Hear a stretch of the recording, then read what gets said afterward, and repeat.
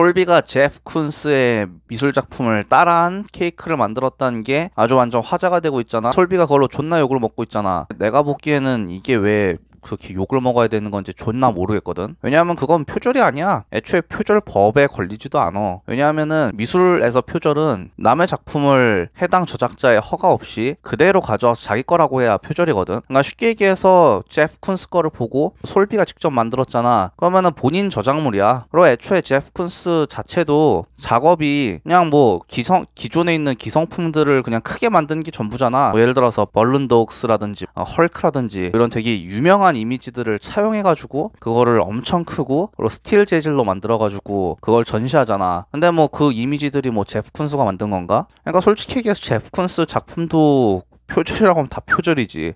그러니까 솔비도 솔직히 완전 똑같이 만든 것도 아니더만 그냥 좀 비슷한 거지. 그냥 참고해서 본인이 만들었잖아. 그리고 케이크로 만들었으면 또 완전 다른 문제잖아. material이 완전 다르잖아. 그러면은 만드는데 다른 방법이 사용됐을 거고 그러면 그건 완전 솔비 창작물이라고 봐도 되겠지. 솔비가 인스타에다가 뭐 제가 직접 만들었어요 뭐 이래가지고 욕을 먹는다며. 근데 뭐 그거는 진짜 직접 만들었다고 해도 뭐 아무도 뭐라 할 사람이 없지. 그냥 제프 콘스 거 보고 이미지만 비슷하게 따가지고 그냥 완전 창작한 거 아니야. 그 정도면은 그냥 100% 자기 창작물이라고 봐도 나는 크게 무리가 없다고 보거든. 근데 뭐 사람들이 왜 그걸로 난리치는지 잘 모르겠어. 애초에 제프 콘스가 본인이 고소한 것도 아닌데 왜 우리가 나서가지고 난리쳐. 우리는 제3자잖아. 제3자가 뭐 난리 쳐봐야 아무런 의미가 없지. 얼마 전에 기- 아니 솔비가 이제 기안84랑 좀 시비가 붙었잖아. 기안84가 뭐 그랬다며 걔 보고 뭐 아 미술을 그만두는 게 좋지 않을까요? 뭐 전공자들이 싫어해요 이래가지고 솔비가 존나 개빡쳤다며. 그거는 솔직히 솔비가 좀 업보가 있다고 봐야지. 왜냐면 낸시랭한테 막 그랬잖아. 저게 뭐야 존나 병신 같아 이러면서 미술하는 사람들은 다 이상한 사람들인가 봐요. 뭐 이런 식으로 얘기했잖아. 근데 본인도 지금 미술 안 해. 어, 뭐 미술하 뭐, 뭐 업보긴 한데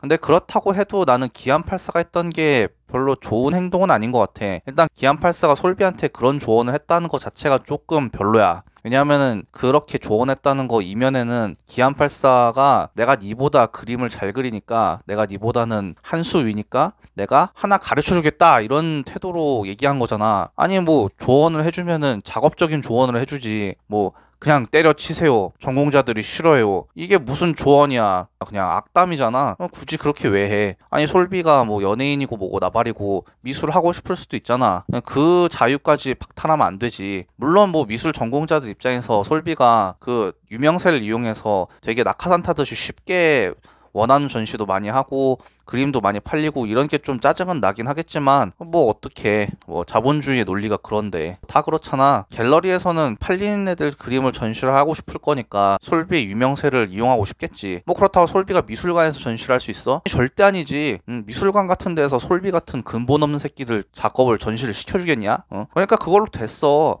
이미 미술계는 갤러리랑 미술관이랑 대한공간이랑 이렇게 권위가 세 개로 나눠져 있잖아 솔비는 그냥 팔리는 그림 그릴 거니까 갤 러리에서 전전긍긍하다 끝나겠지. 솔비가 뭐 미술계에서 권력을 얻어가지고 미술관까지 갈 거야? 뭐그 그 정도라면 솔비가 진짜 대단한 거지. 그거는 미술 권력자들의 눈에 들고 실력도 인정받았다는 뜻이니까. 그러니까 그거를 별로 우려 안 해도 된다 이거야. 그냥 솔비 같은 놈도 있구나 이렇게 생각하면 돼. 이거는 모든 예술 장르에 다 통용되는 거잖아. 예를 들어서 아이돌 가수들이 막 영화 찍을 때 바로 주연 자리 꿰차잖아. 이런 것도 있고. 그냥 강용석 같은 경우에도 강용석은 그냥 국회의원이잖아. 강용석이 뭐 방송 짬밥이 얼마나 있어. 그런데 바로 그렇게 김구라 같은 급 있는 방송인이랑 같이 방송하고 그러고 엄청나게 유명해졌잖아. 그러니까 다들 유명하면은 타 장르로 이렇게 전이하기가 쉽다니까 유명하니까 뭐 짜증은 나지만 그거 자체를 부정할 수는 없다고. 그리고 난 애초에 솔비나 조영남 같은 사람들이 미술인들의 밥그릇을 뺀다고 생각하지도 않아. 아니 밥그릇을 뭘 빼서 만약에 걔네들이 우리 밥그릇을 뺏었다면은 걔네들이 만약에 미술을 안 하면은 우리 같은 무명 미술가들이 더 잘 먹고 잘 살아야지. 근데 실제는 웬걸? 걔네들이 존재하건 말건 우리들은 거지 같아. 걔네들이 미술을 하건 말건 우리들은 존나 돈 못 버는 존나 거지 예술가라고. 걔네들이 뭐 미술 그만두면 우리가 갑자기 하루아침에 벼락부자가 돼가지고 막 일확천금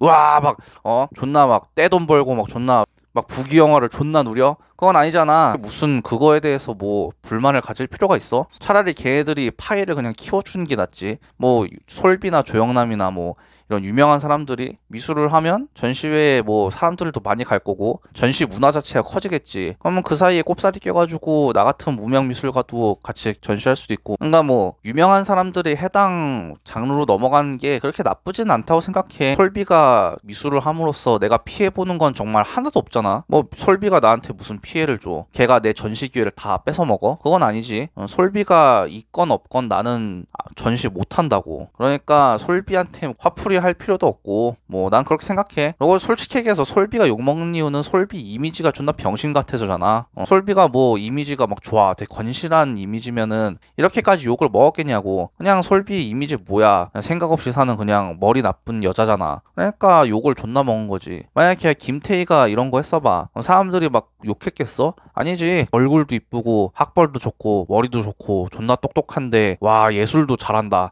개쩐다. 막 이러겠지. 그러니까 이미 지가 중요하다니까. 결론적으로 솔비를 욕할 필요도 없고 솔비는 표절도 안 했고 제프 쿤스랑 어떠한 뭐 문제도 없고 제3자가 나서서 욕해봐야 무슨 의미가 있냐고 그렇다고 솔비가 뭐 미술하는 것 때문에 미술하는 애들이 피해를 받는 것도 아니고 그러니까 그냥 각자의 삶을 살아 작업 열심히 하고 그럼 되겠지 뭐